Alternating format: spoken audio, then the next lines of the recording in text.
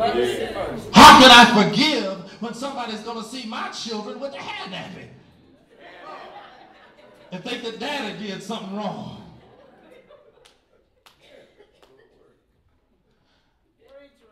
In order to do this forgive and forget thing, we have to do something.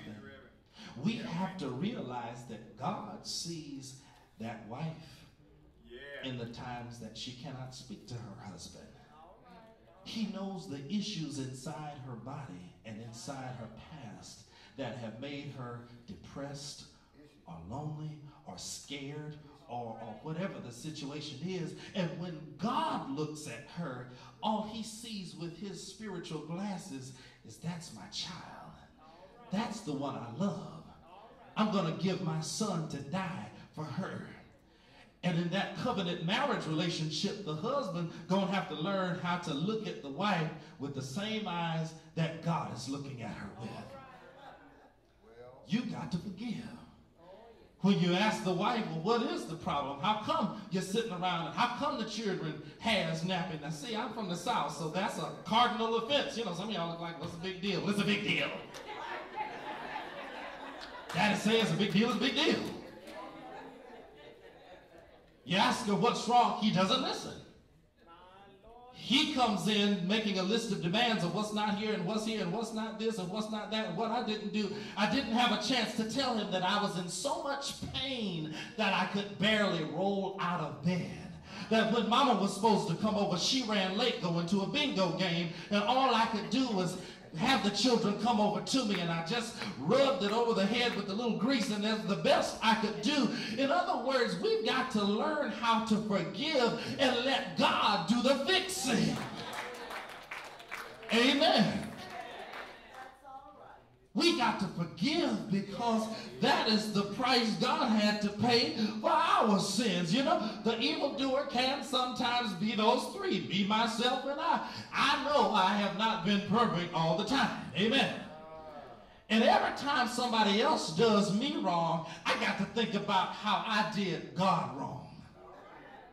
Some of the things that I've made up have been quite creative, as you might can imagine.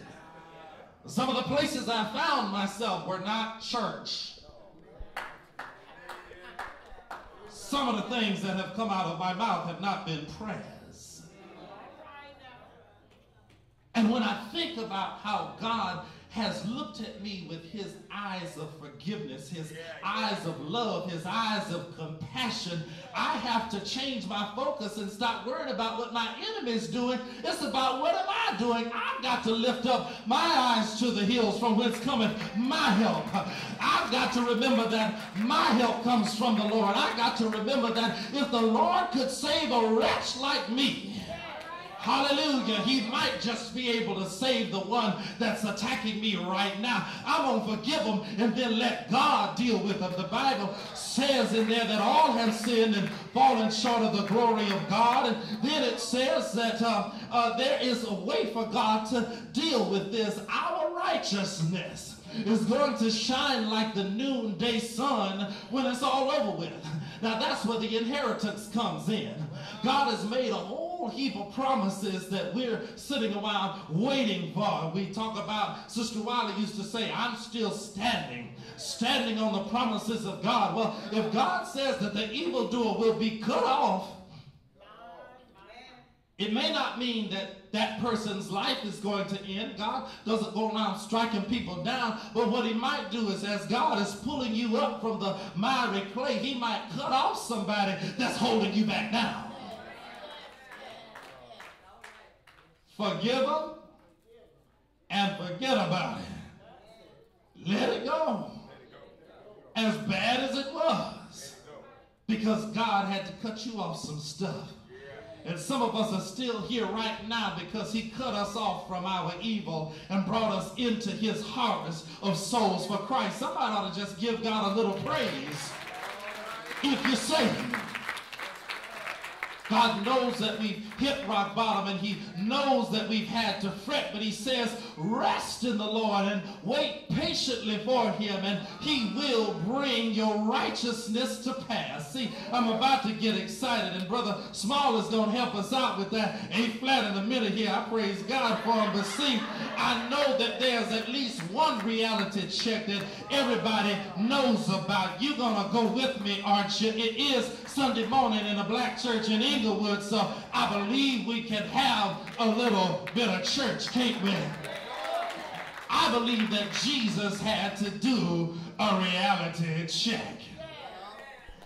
I believe that Jesus had to think about it when he was being lied on in trial after trial.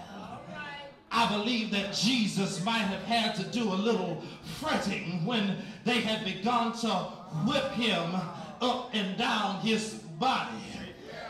I believe that Jesus had to fret a little bit when he found himself being accused and yet he was innocent of every crime and sin. Oh Lord, I believe that Jesus might have had to fret a little bit when he looked down and saw that I was doing something I wasn't supposed to do. I believe that Jesus had to fret a little bit uh, when he found us stepping outside our marriages, when he found us saying things to our so-called friends, when he found us filling our bodies with every spirit but the Spirit of God. I believe that the Lord sometimes when he found us being disrespectful to mama, keeping our rooms unclean, and going out with a nappy head of hair. I believe that uh, Jesus had to fret sometime uh, when he realized that he would be betrayed by one of his best friends. Hey, Lord. I know that Jesus had to just take a moment and write that reality check and say, you know what? I'm going to forget about all that. I'm not going to worry about you because I got better plans for you. Jesus said that I'm a little bit smarter than you. I've been able to peek over the edge of eternity and I know where you're going.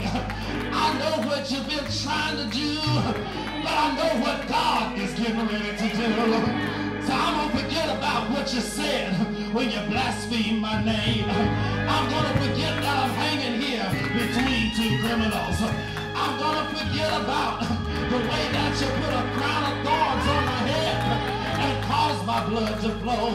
I'm to forget about the lies that you told. I'm to forget about the money that you stole. I'm to forget about what you used to do back before you got old. I'm to forget about it so that I can move you on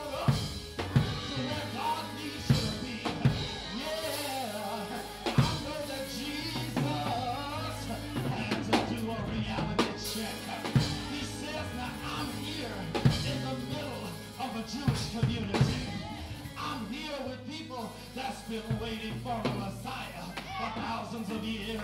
I know they don't believe me. I know they think I'm a put on and a fake.